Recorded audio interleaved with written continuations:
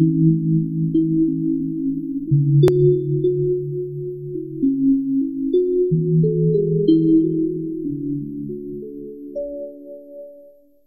my pleasure to introduce Dr. Debajyoti Bera from Triple IT Delhi. Dr. Bera is Assistant Professor at Indraprastha Institute of Information Technology, Triple IT Delhi. He obtained BTech in Computer Science from IIT Kanpur in 2002 and his PhD in Computer Science from Boston University, USA in 2009. His main research interests are in theoretical computer science with special interest in algorithms and complexity analysis. Other academic interests are in computer systems, security and databases. He is also interested in the application of computer science theory, especially complexity theory, in other research areas like basic sciences, economics and biosciences. He was awarded as the best teaching fellow in computer science department at Boston University in 2007. It's my pleasure to welcome Dr. Bera. Hello. Uh, thank you for inviting me. Uh, I should have been here earlier, but I just couldn't make it because of the end of semester grading and stuff. But I was going through the abstracts and they just look fabulous. All various kind of very different aspects of quantum computing. Uh, it was uh, it's unfortunate that I couldn't be here earlier.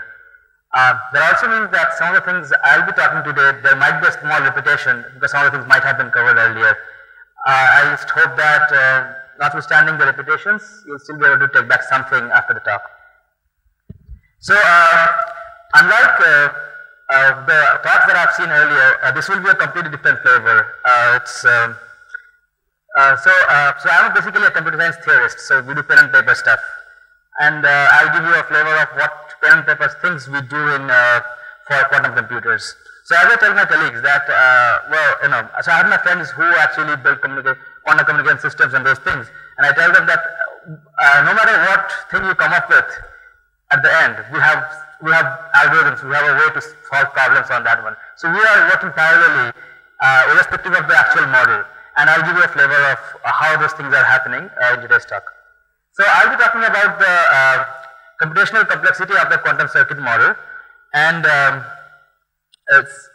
since I'm not sure much of many of you know about the idea of complexity theory, I, I uh, to do justice to you, I should introduce the uh, idea of computational complexity, and then I'll go on over this quantum circuit model. It will be a very overview kind of talk. Because, uh, but if something is not making sense, feel free to interrupt, uh, because otherwise you just won't understand it. How this works. Good. So uh, let's just start with a brief uh, idea of a very high level overview of computational complexity theory. So what do we do there? Um, so we, we, look at computational problems. Um, for us, problems, um, a problem is a function which takes some input and has an output, as simple as that. Uh, the inputs can be integers, real numbers, rationals, sets, graphs, wires, houses, buildings, universe, anything you want. Outputs can be anything you want. There is no constraint on those things. So, uh, so below uh, we have a, have a list of example functions that interests us. Uh, computing the XOR of n binary inputs, multiplying two n bit integers, and all kind of things. Uh, on the right hand, I have solving a system of n linear equations with integer variables. Now, uh, for, for those who have actually tried these things on hand, uh, I'm not very good with this one at least. Uh, for those who have tried these things in hand, definitely you would feel that solving a linear system of equations is probably looks harder than computing the XOR of binary inputs. No matter how you have tried it, you have tried a, a C program or you have tried a actual circuit or whatever it is. If you want to build a circuit for solving equations, it's going to be tough. I think so. Uh, so our goal is to somehow capture this idea that okay, it looks tough, but is it really tough? And I mean, can we somehow come up with a, a notion of toughness? and how to abstract it out, how to get a property of it, how to make a theory out of it. And that's all it is complexity theory. So we analyze complexity of functions. Let's just be a little bit more specific because I, I want to explain this whole thing with respect to quantum circuits. Um, so let's just take this pro particular problem, sorting integers. Uh, most of us are familiar with this problem.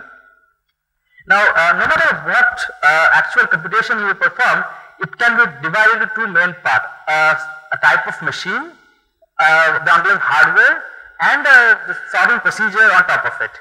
Now, procedure is definitely tied to the type of machine, but there is some sort of a general idea about sorting that you will find in all different sorting procedures across different machines. So you can sort of basically break it out. So let's just take some examples. So it's not important what actual stuff comes up here. Uh, but so this is a general problem.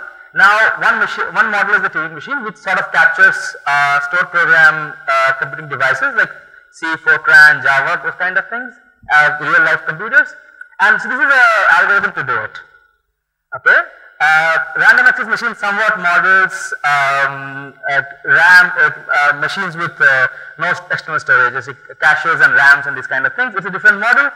And uh, for those of you who know about sorting, might know that there is a, a sorting takes n log n for for on computers, but here it is actually significantly smaller than that. And that is the reason is because the model has changed. Just just pointed out that one you once change the machine, the efficiency actually changes. You don't need to understand what the details are there. Here is a boolean circuit and here is a sorting network. So you can actually uh, have a circuit for sorting. You feed in inputs and the output you get are sorted. There are standard ways of getting this uh, circuit in, uh, in real life using the real proper gates. And for communication network with distributed system, uh, with node failures and all kind of things, uh, you can actually do a sorting on this. There are different algorithms for that. So we have different kind of uh, models for machines and depending on that we have different kind of algorithms. They are somewhat tied but the general idea of sorting here is all this, there is a general basic knowledge of sorting here which is being applied here. So given this we any computation we break it up into kind of two distinct parts then an algorithm or actual model and uh, once we have this we can uh, uh, the complexity theory what it does is it tries to look at, it tries to compare computations by analyzing their properties. And how do we uh, do that? By, uh, by defining notion of hardness or complexity. We say that a problem uh, is very hard or harder than another problem because maybe it's because of the machine. Maybe because the machine is so stupid that if you want to do anything simple, you need a lot of steps, a lot of any resource. Complexities denotes some idea of a resource. We'll go, to the, come to the resources soon. Uh, but maybe uh, a problem is such that no matter how smart the machine is, if it is the world's fastest computer, it is still going to take a lot of, lot of time because the problem itself is very complicated. It's like linear programming kind of thing, those kind of things. So we define different, we define different hardness notions and different complexity metric to uh, look at these properties. The usual complexity metrics can be running time. There is a usual notion we mostly use, how long it takes, uh, another one frequently used is the number of local variables. Um, those you know sorting know the idea of merge sort, quick sort. Even though merge sort can actually take sometimes uh, theoretically take better uh, takes runs faster than quick sort, but uh, uh, quick sort is actually named quick sort because it uses fewer local variable, uh, local variables, fewer uh, space to workspace, and so it's actually an important resource. If you are if you're doing a computation on uh, on a huge data set, then you often often you and often the amount of data you have exceeds your main memory. And once you go to the storage, external storage like disk, things start become expensive. So you so the number of mem memory you're actually using, it's actually an important resource. So we try to capture that using this one. The amount of randomness is another important resource because uh, uh, there are a lot of algorithms out there which depend, which are randomized algorithms, probabilistic algorithms, which use randomness and all this is just flip a coin or get uniformly a number uh, from 1 to 10. Well, getting a number from 1 to 10 uniformly with this guaranteed uniformly is not easy. I mean, whatever, if you have an algorithm to get a number, then that number is not random. You have an algorithm for it. So it's very hard and, and there are very sophisticated physical devices out there to get proper random bits. This is actually a very important resource and there are complexity proper measures to compare algorithms based on that. If it's a communication algorithm, something to do with distributed networks, communication, the number of communication bits, that becomes important prime thing. And so these are the metrics and what to do with the models, we, some, we provide, uh, we try to with equivalence notions. We say that this model is equivalent to that model in the sense that uh, I can simulate a circuit by a Turing machine which takes double the time or something like that. A RAM is similar to a, a circuit which takes half the space, something like that. So we know that moving from model 1 to model 2 adds this much to the cost, this much to the uh, complexity metric and then the, the, and then accordingly the problem should be this much and then we compare uh, we compare different problems. So that's the main two goal comparing, uh, comparing computations analyzing properties.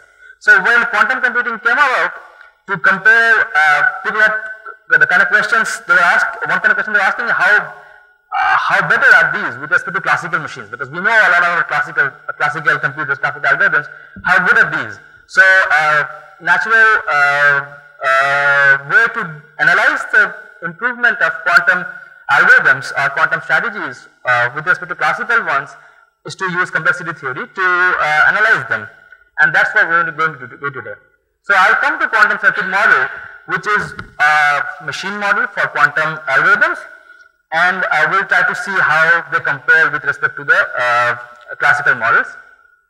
But to uh, tell you one thing about that I need to first introduce you to the classical Boolean circuit model which is a simplified form of the AND OR gate circuits and uh, the quantum circuit model is, uh, is based on this idea of uh, Boolean, uh, classical Boolean circuits. Um, so let's first go to classical uh, Boolean circuits. So it's the usual thing you know, I have a, uh, I have a Boolean circuit here which I have no idea what it does, I just copied it from Google. it's an acyclic network of Boolean, Boolean gates, they are connected by wires, you feed in boolean inputs here and uh, you can do all kind of timing, uh, you can introduce timing to figure out when does an output bit come but essentially you whenever you feed an input to a gate an output comes out and you move from the input towards the output, the output uh, wire contains the value of the output circuit. That's the simplified form of a, of a boolean circuit. This is equivalent to the Turing machine. Uh, for those who haven't heard of a Turing machine, it's a machine model which sort of captures the programs that we write today roughly in a way. And any computation can be uh, any computation can be represented as a Turing machine. So a circuit essentially captures anything, any computable computing, uh, any computation, and any computation can also be captured by a Turing machine essentially. And it uh, clearly, since all of these are Boolean gates, this whole circuit computes a Boolean function of its inputs. Okay, so far so good. Uh, let's now come to try to uh, evaluate it. Uh, the, what are the parameters uh, for complexity? Well, first of all, um, uh, trying to talk about the parameter of a circuit is of a particular circuit is not very useful because I can look at the circuit and say, okay, this uses this many number of gates, this many number of wires. So how do I evaluate the parameters? Uh, one uh, one way to do that is because uh, when I, when I'm looking at a general problem, it works for inputs of many lengths. Uh, so I can have a multiplication procedure which multiplies two integers, the two integers can be 2 bit integers, 3 bit, 4 bit, 5 bit, 6 bit, 1000 bit, something like that. But one particular circuit can only multiply uh, uh, integers of let's say 2 bits or 10 bits. It cannot multiply two uh, integers of any number of bits. So to capture this, what we do is we say that we will have one circuit for each input length and essentially we get a circuit family.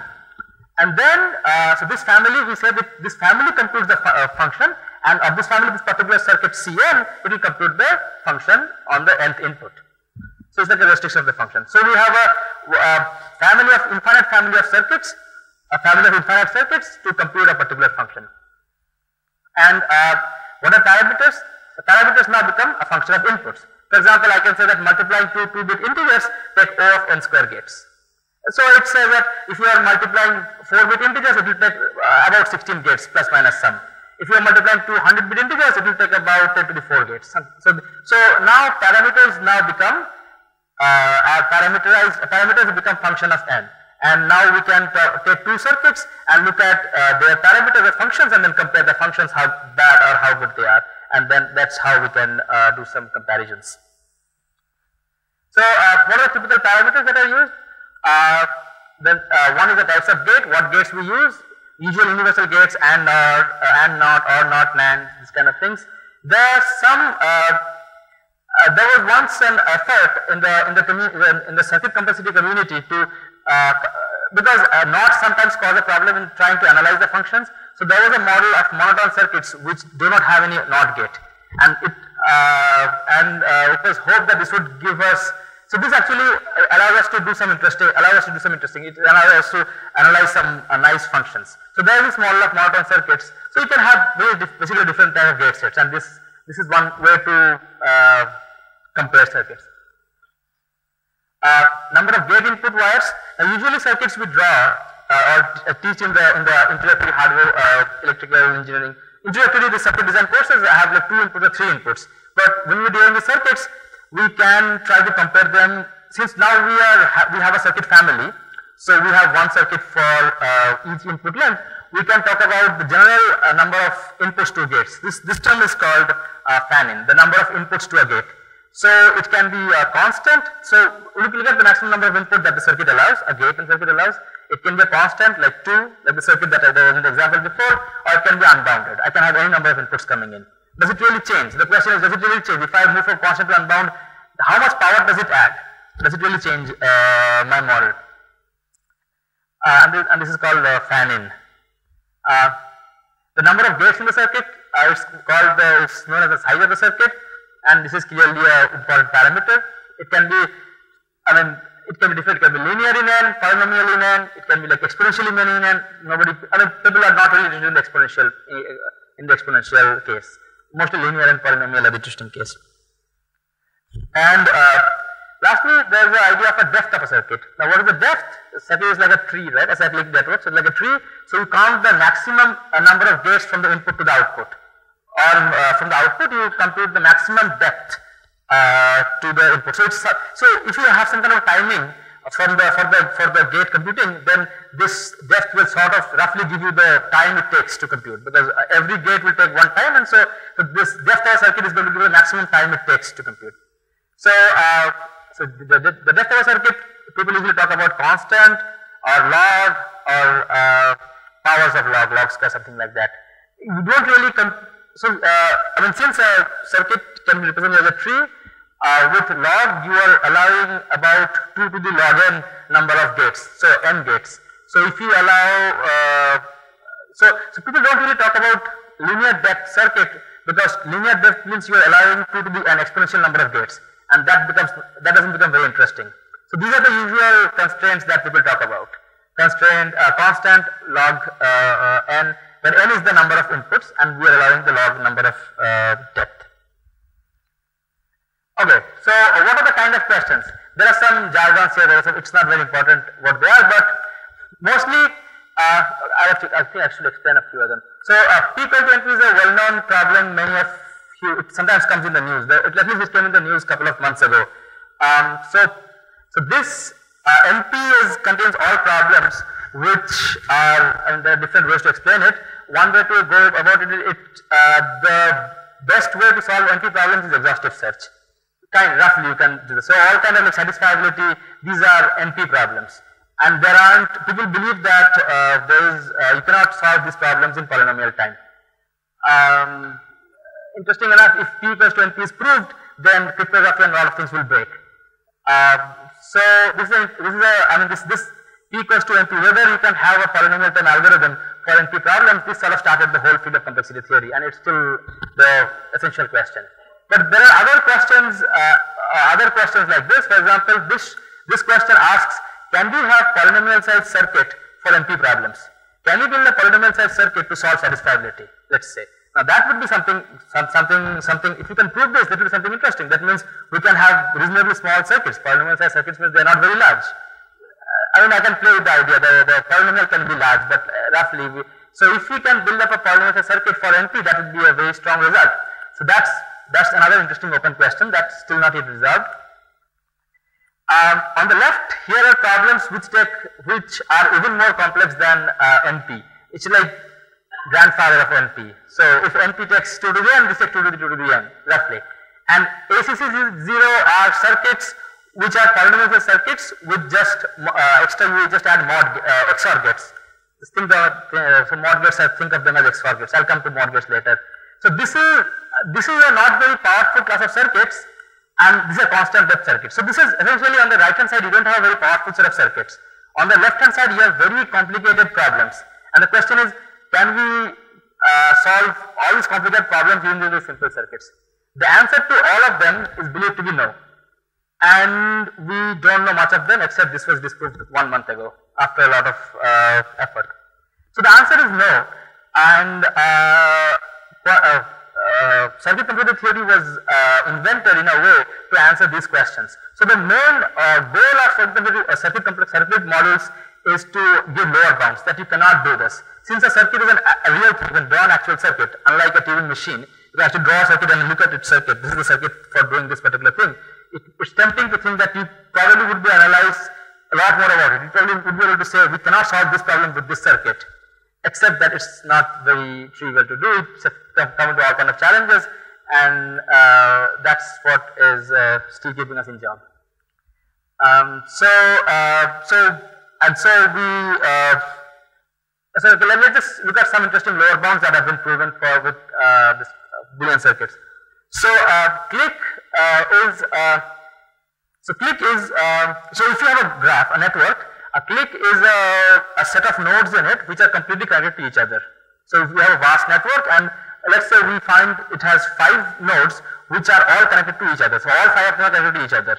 So such nodes finding such uh, complete subgraphs, these are called cliques. Finding cliques is, has become very important thanks to the proliferation of social networks and network, general proliferation of network in all kind of things. We have networks of uh, you know, personal information, we have networks of friends, we have networks of your uh, academic communities, there networks all around the world, large scale networks, and finding clique is a very important problem has turned out to be. So it was proved that we cannot compute clique uh, using less than polynomial number of gates, using these kind of gates. So this, so this kind of results are very interesting. Uh, so also, for example, here's another thing. Parity is uh, XOR. Uh, uh, so uh, XOR is because 2 is extended to n bits. So we are uh, we are uh, computing their, uh, their XOR of n things, that's called parity. Um, so computing the parity, it was proven that it requires at least exponential side circuits if you want to use constant depth and unbounded fan-in AND gate or gate and NOT gate. And so these are the kind of results that has been proven and uh, these allow us to prove more complicated things but these are some of the things that we can say. These kind of lower bounds are what, what interests us that this problem cannot be done with this. So let's just, with that in mind, let's just come to quantum circuit model. So again the motivation is, uh, for the quantum part is that we want to find out lower bounds for the computational problems, also upper bounds and we want to figure out this problem can be solved by this kind of circuits. But the main motivation, uh, because we want to compare it with classical circuits, the main motivation sort of It goes both ways. Uh, one other motivation is that we want to figure out the lower bounds. We cannot compute this circuit, this problem with this kind of circuits. And uh, we want to compare it with classical circuits. So let me just give you a basic idea of the of quantum circuits. So I'll just use some notations. I was not sure what notations people have used to. So, uh, so H is the usual two-dimensional Hilbert space, two computational basis states, 0 and 1. Uh, uh, so Bn is the 2 to the n-dimensional Hilbert space. The basis states are all uh, uh, are we are 2 to the uh, n basis states, and I represent them as integers of n bit length. So these are all n bit uh, integers. I'll denote I'll denote the basis 2 to the n computational basis states as this one, and the state of over n qubits will be just a state in this 2 to the n dimensional Hilbert space. Um, quantum gate is just an unitary operator which is acting on the states on, the, on this uh, two to the n-dimensional space. Now what about circuits? Circuits are, uh, since we want to compare them with classical function, classical circuits and classical circuits only compute classical functions, we, we are restricting ourselves to circuits which compute classical functions. So the inputs will be, uh, inputs will still represent uh, classical inputs like binary boolean inputs x's, x's in 0 1, 0 1 value inputs uh, and which so if the input is some x1 to xn we will, be, will represent them as the initial state of the circuit. The, in, the initial state the input to the circuit will be this uh, state represented by x1 to xn. So this is their computational basis state. And the output is again uh, it's a class it's a classical it's a proper boolean output. So it will be again a 0 1 or a 0 1 valued output and so that will be we will say that the output of the circuit is you measure the circuit at the at the output qubit whatever value you get after measurement uh, of the qubit that I will denote as the output of my circuit. So that's my uh, that's my quantum circuit. Okay, so I mean here I have some quantum circuit uh, two quantum circuits and uh, so let's just look at the parameters what we have to, we're going to be using. So as before we have the types of gates, we'll talk more about them in more detail, but as before we have types of gates, the number of gate input wires, how many, uh, so this, uh, so this gate has input 1, this has input 3, but if we are talking about circuit family then we can talk about uh, whether gates take constant number of inputs or unknown number of inputs. Um, depth of a circuit is again the, uh, the, the, the number of uh, gates from the output to the input which for a quantum circuit will be just the number of layers if you can see them as say them as layers. So this is 1, 2, 3, 4, 5, 6, 7 that will be 7 for this one. Another interesting thing that uh, comes for quantum circuit is the number of ancillas. What are ancillas? Now uh, when computing you often uh, need extra workspace qubits, extra temporary space, scratch space, temporary space to store a value temporarily and then use it, use it later. Now so this was not a very important thing for, for classical circuits because we can just have uh, one uh, one extra uh, extra bit initialized to zero. And anytime we need to store value we can just store a value there. Or we want to use a value zero we can just use it. If you want to use the value one we'll just pass it through a NOT gate and use it. And if you need multiple uh, multiple storage, multiple extra bits, we can just uh, you know split the wire, take a wire splitter, split the wire, or solder a wire, and get multiple values out of it.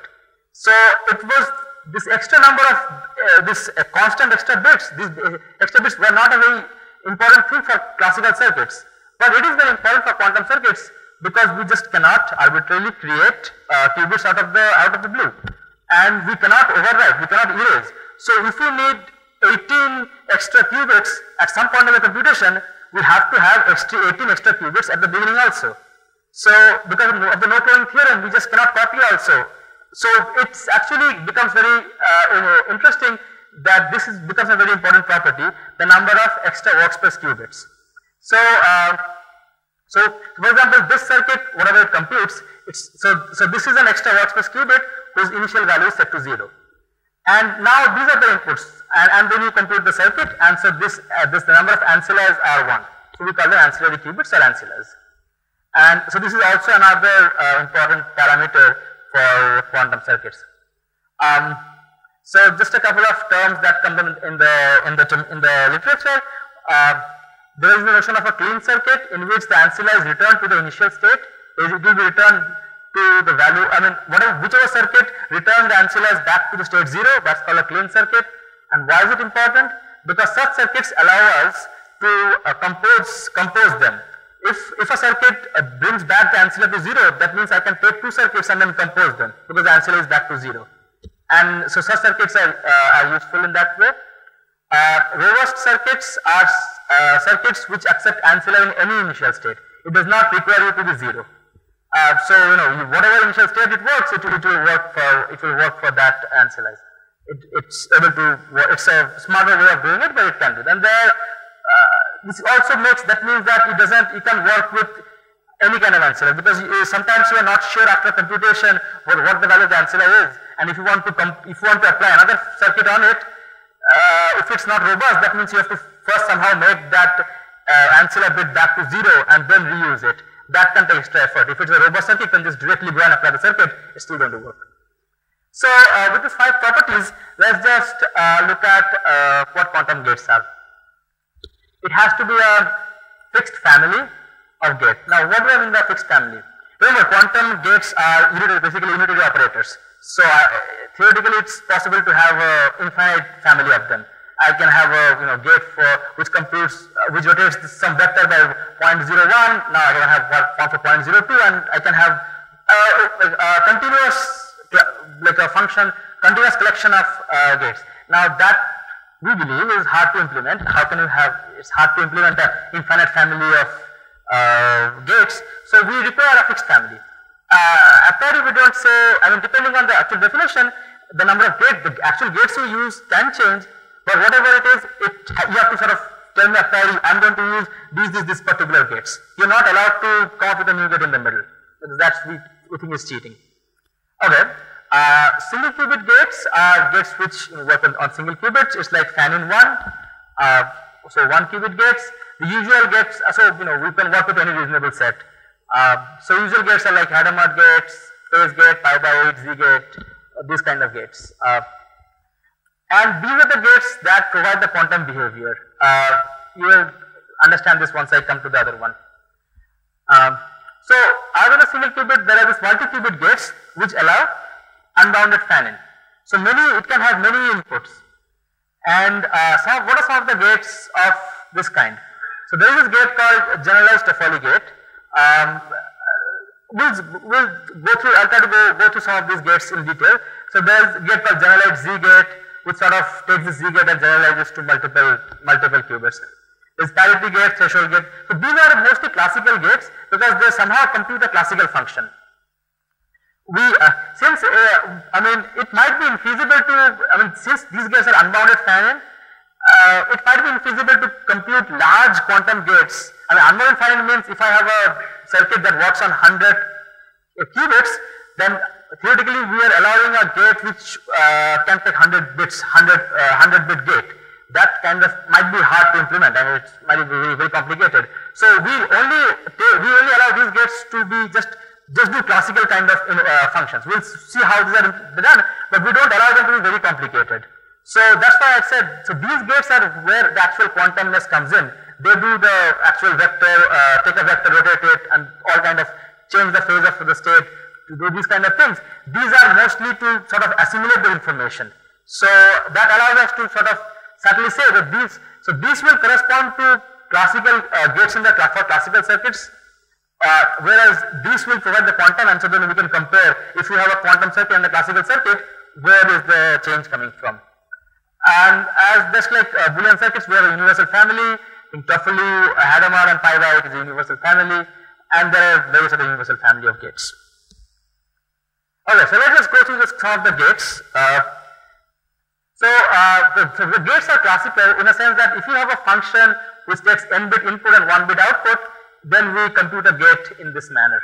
It takes, it works on n plus 1 qubits and keeps the first n as same and just uh, XORs, applies the function on the first n, uh, on this n values and then XORs it with b. Uh, things, you have probably have seen this kind of things for when you have talked about Grover's or Shor's kind of thing, this kind of things come up. So let us take an example.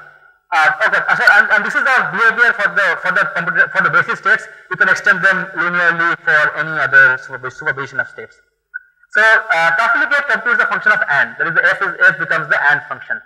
Uh, the usual Toffoli gate was invented for three qubits. So this is just a generalization of it to n qubits. Okay. So f is the AND function. So what it does is uh, uh, it uh, for the computational basis state, it leaves these bits, uh, these qubits unchanged, and this one it XORs the uh, bit B with uh, the, the, the, the AND of all of these, all of these bits. Okay, uh, these, are, these are some new gates, the mod 2 gate. Uh, mod 2 gate, the function is now the parity, the, the, the XOR of all the, all of these bits. So essentially the output, everything remains same, here we get the uh, parity, the mod 2, the XOR of all the all the inputs. Again, these are all for the computational basis state. You can extend them to the other superposition. Mod q gate uh, is extension of mod 2 gate where instead of 2 we have q. So what it outputs, we still want a 0 1 output. So what it does is it computes the sum of the of the input bits if the sum is 0 mod q, that is sum is divisible by q, then it outputs 0. If the sum is 1 mod q, then it outputs 1. So it basically figures out whether the sum is a multiple of q or not for a fixed q. So you can have mod 3 gate. The inputs are a multiple of, the inputs are a multiple of 3. So if, if 3 bits are set to 1, if only 3, if exactly 3 bits are set to 1, it will output uh, 1. If 6 bits are set to 1, it will output 1. 9 are set to 1, it will output 1. And everything else will set, it will output 0. So that's the mod 3 gate and you can extend it to any mod gate. This is another gate which becomes very important when we are talking about uh, Boolean circuits, the threshold gate. What it does is it takes a fixed parameter k, So we say threshold 3, threshold 5. So threshold 5 what it will do is it will add the inputs. It's basically kind of figuring out whether the number of ones are more than a threshold or not. So if the number of ones are more than k, uh, greater than equal to 5, then it will output 1 if the number of ones are less than 5, then it will output 0. So this simple way to just count the, count the number of inputs whether it above a certain level or not. And that's called a threshold gate. And again, uh, we just do it the same way. We the, the, this is the function, and we are, uh, we XOR it with the target uh, bit, and we get the we get the function. Uh, this, so last two gets are slightly different. Uh, this is a generalized Z gate. A, Z gate only uh, changes the um, so if you apply a Z gate on, on, on the state 0, it remains 0. If you apply it on the state 1, it becomes minus 1. The phase is multiplied by negative 1. This is just an extension of that to, uh, to multiple, multiple qubits. So if the, if all the xi's are 1, then the state is multiplied by the phase minus 1 and if any of them is 0, it gets, it stays the same. Uh, this gate is very useful when you are, when we are designing some, some of the circuits uh, uh, but it is it is not a very completely new uh, notion because uh, this is a, a Z gate can be applied uh, can be obtained by just conjugating an Hadamard gate on the target side of a Toffoli gate. So you take a Toffoli gate, you had uh, you conjugate it with Hadamard side on both the sides, and you get a Z gate. So it's not a very it's not a rocket science thing, but it just makes us makes us easy. And the reason it makes us easy is because it leaves the actual state unchanged. It only works on the amplitude. So these kind of gates can be used for robust computing because it, the state is unchanged, uh, but only the phase is changed. So you can actually play with this quite a bit. It actually makes your life easier. And last comes uh, the interesting part, the fan out gate. Well, we know that fan out is impossible uh, in quantum uh, circuit, and the reason is we cannot clone. So, uh, in classical circuits, okay, so what is fan out? Fan out basically means you are, you are uh, duplicating values. You are making multiple copies of one value. So in a classical circuit, if we split a wire, if we solder multiple wires, we get multiple copies of the same value and that this operation is called fan out. And that kind of thing naively is, it cannot do that for quantum circuits because that would mean we are making three copies of a state. And we cannot just do that out of one copy because that will violate the no cloning theorem. So, uh, but this idea of making multiple copies it's very much useful when we're designing a when we're designing uh, any kind of algorithm. We need to make a copy of a variable to use it for later. This idea is no matter what model you use, this idea comes back in some form or the other. This was not a problem for classical circuits. So uh, what we do is we uh, so people have invented a thing called a fan out gate.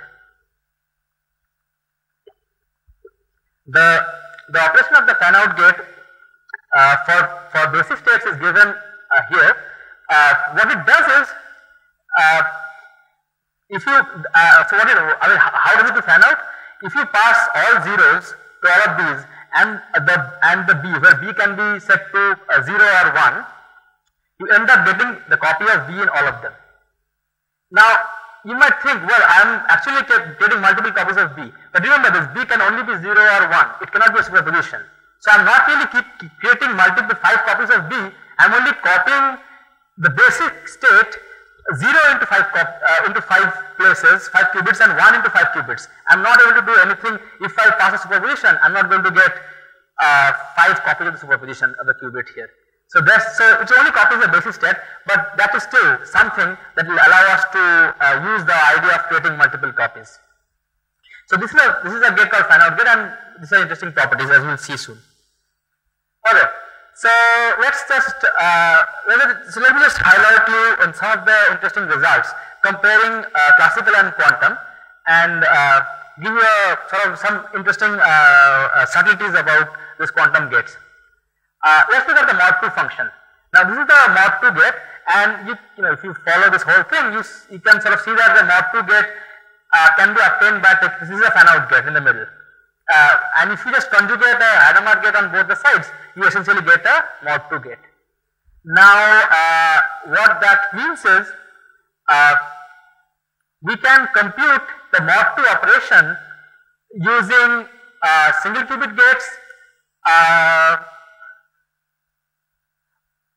actually we don't even need Toffoli gate. Using single qubit gates and fan out gate, we can obtain a mod 2 gate in constant depth and linear size. It has only uh, you know, uh, 2n plus 1 number of gates this is this, this, this gate is using. So we can compute the mod 2 operation using linear side circuit and constant depth. Uh, whereas classically it has been proven that if you only allow corresponding to single qubit gates, we will have single uh, bit gates for classical which is just the only one we know is NOT gate. Uh, so if you allow NOT gates uh, for so we allowing unbounded gates here, so we allow, we can allow unbounded AND, AND gates. So if we allow the same kind of resources here, NOT gates and unbounded AND gates, then we need at least exponential number of gates if you want to do the, do, if you want to compute mod 2 in constant depth. So whereas in classical we need exponential number of gates for the similar problem, in quantum we can get it in in, uh, in, in only linear number of gates. So this is a, this is um, interesting. It shows that uh, it, it, shows uh, one power of this of this quantum circuits uh, in an interesting way. And as and, and if you do the whole math, if you do the whole logic behind it, the whole magic happens in the Hadamard gates.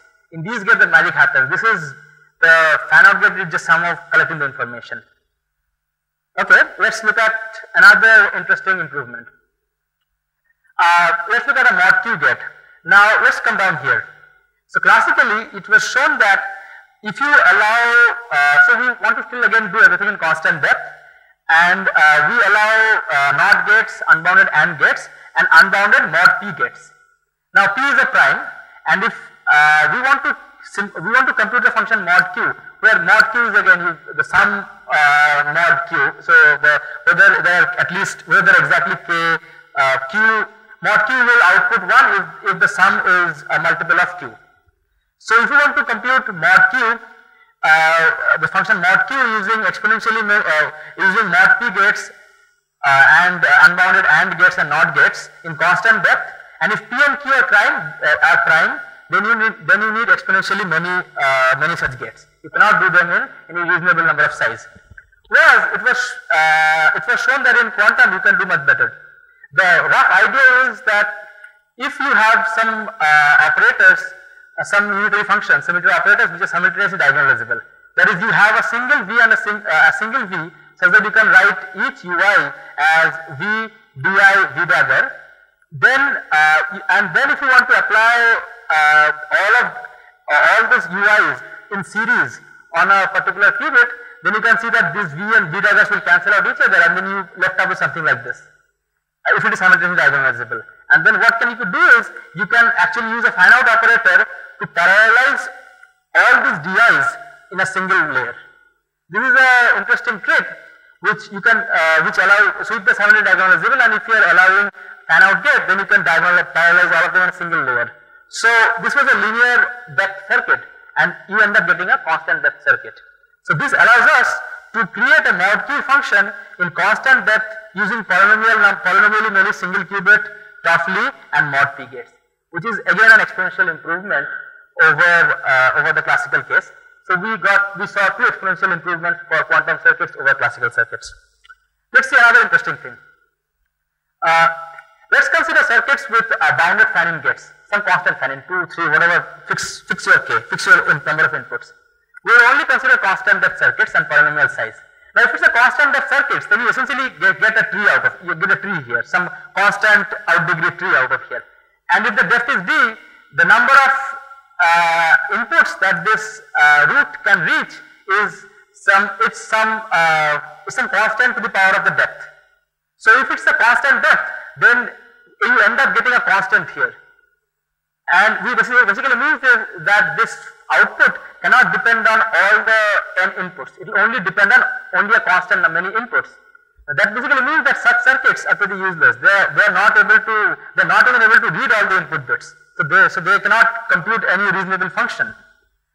So uh, even, if you, even if you allow unbounded fan out in these gates, we, this, the output can only depend on a constant number of inputs and it's pretty much useless function. Nobody actually talks about constant depth circuits with bounded fan gates.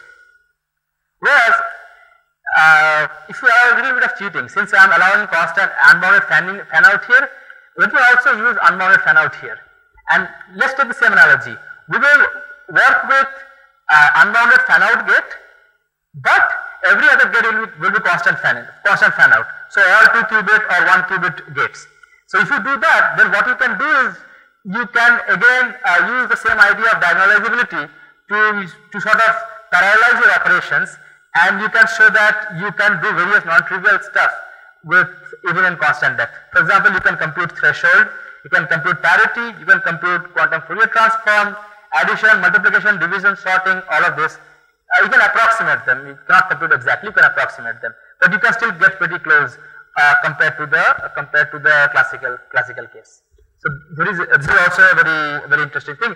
Especially one reason is because QFT is used in all kind of places in Grover's and Shor's and uh, many of the algorithms they use QFT quantum Fourier transform. And if you can approximate them in a constant depth, that means your circuits are becoming very significantly smaller. Uh, so, uh, so I mean, our, our uh, so one one question that people ask is, are uh, quantum circuits very always very this powerful? I mean, can they be always better? I mean, always much much better than classical. So there are also negative results. For example, we know that in classical we cannot compute mod 2 function, the usual XOR, in constant depth.